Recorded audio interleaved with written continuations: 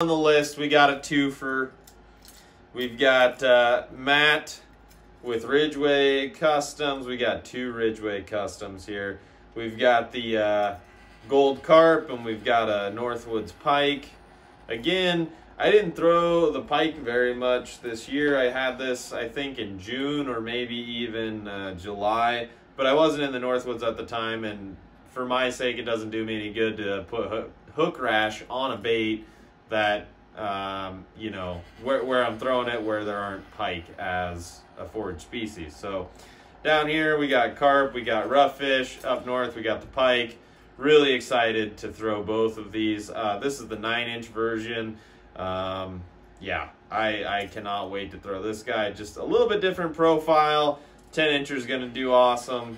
Cannot wait. I, I, these patterns are just straight money. I posted a picture tonight. Uh, the the lighting was just